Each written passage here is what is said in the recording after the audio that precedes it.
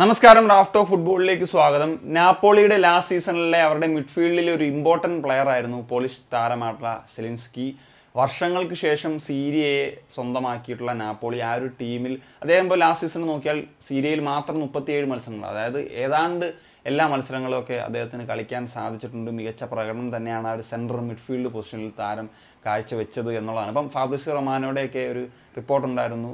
ഒരു formal bid അല്ലഹലി എന്ന Saudi club താരത്തിന് വേണ്ടി വെച്ചിട്ടുണ്ട് എന്നുള്ളത്. എന്നാൽ കഴിഞ്ഞ മണിക്കൂറുകൾക്ക് മുൻപ് മാത്രമാണ് ഇപ്പം സെലിൻസ്കിക്ക് വേണ്ടി അല്ലഹിലി ഒരു ഒഫീഷ്യൽ ബിഡ് സമർപ്പിക്കുന്നു എന്നുള്ള തരത്തിലേക്ക് കാര്യങ്ങൾ പോകുന്നത് എന്നുള്ളതാണ്. ഇപ്പം ഈ ഇരുപത്തി ഒൻപതുകാരനായിട്ടുള്ള താരത്തെ സംബന്ധിച്ചിടത്തോളം രണ്ടായിരത്തി ഇരുപത്തി നാലിൽ കോൺട്രാക്ട് അതായത് അടുത്ത വർഷം കോൺട്രാക്റ്റ് തീരാൻ പോകുന്ന ഒരു സാഹചര്യമാണ് ഉള്ളത്. അപ്പം തീരുമാനം വരേണ്ടത് തീർച്ചയായിട്ടും നാപ്പോളിയുടെ ഭാഗത്തു നിന്നാണ്. അവർക്ക് അടുത്ത വർഷമാണെങ്കിൽ ഒരുപക്ഷെ ഒരു ഫ്രീ ഏജന്റായിട്ട് താരത്തെ വിൽക്കേണ്ട ഒരു സാഹചര്യം വരും. താരം കോൺട്രാക്റ്റ് എക്സ്റ്റൻഷൻ നടത്താത്ത വശം ഇത്തവണയാണെങ്കിൽ ഇപ്പം സൗദി ആണ് ഒരു നല്ല രൂപത്തിലുള്ള ഫീ ഒക്കെ കിട്ടാനുള്ള ഒരു സാഹചര്യങ്ങളും നിലനിൽക്കുന്നു എന്നുള്ളതാണ്. അപ്പം ഓൾറെഡി അവിടെ സൂപ്പർ താരങ്ങൾ ഇപ്പം ഫിർമീനിയോ സൈൻ ചെയ്തു Riyad Mahrez and Edouard Mendy എന്നീ താരങ്ങൾ സൈൻ ചെയ്തു. അതിന് പിന്നാലെയാണ് ഇപ്പം ഈ ഒരു സെലിൻസ്കി എന്ന് പറയുന്ന പോളിഷ് താരത്തിന് വേണ്ടിയും ഒരു ഒഫീഷ്യൽ ബിഡ് അല്ലഹലി കൊടുക്കുന്നത് എന്നുള്ളതാണ്. ഏലും കൂടുതൽ ഫുട്ബോൾ വാർത്തകളുമായി നമുക്ക് വീണ്ടും കാണാം.